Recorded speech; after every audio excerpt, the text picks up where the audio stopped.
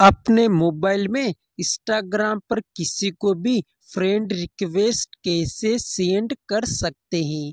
Hello दोस्तों, आज के इसी वीडियो में जानेंगे कि इंस्टाग्राम पर हम किसी को भी फ्रेंड रिक्वेस्ट कैसे सेंड कर सकते हैं। तो आपको मालूम होगा कि इंस्टाग्राम में बहुत सारे अकाउंट को प्राइवेट करके रखते हैं तो उसको हम फ्रेंड रिक्वेस्ट कैसे सेंड कर सकते हैं।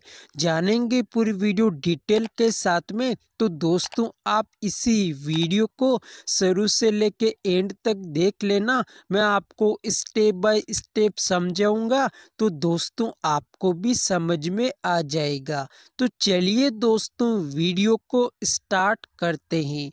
तो दोस्तों, वीडियो को स्टार्ट करने से पहले अभी तक आपने इस चैनल को सब्सक्राइब, दो सब्सक्राइब कर देना। और आपको पास बेलाइन घंटी दिखाई दे रही, उसी घंटी को भी ओल पर प्रेस कर देना। उसके बाद गैस आप अपने मोबाइल में इंस्टाग्राम एप्लीकेशन को ओपन कर लेना।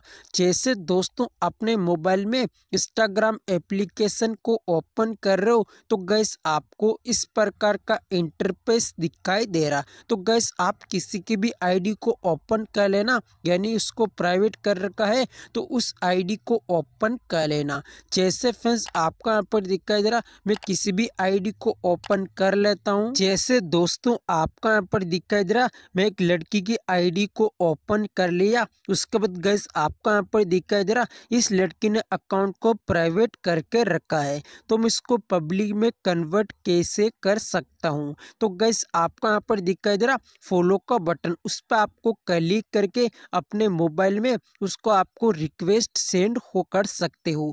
जैसे फ्रेंड्स आपका यहाँ पर दिखाई दे रहा मैं फॉलो के बटन पर क्लिक कर लिया, और गैस आपका यहाँ पर फ्रेंड थी वो फ्रेंड रिक्वेस्ट उसके पास चली गई। तो गैस आप भी अपने मोबाइल में किसी को भी फ्रेंड रिक्वेस्ट भेजना चाहते हैं तो इस प्रकार भेज सकते हैं।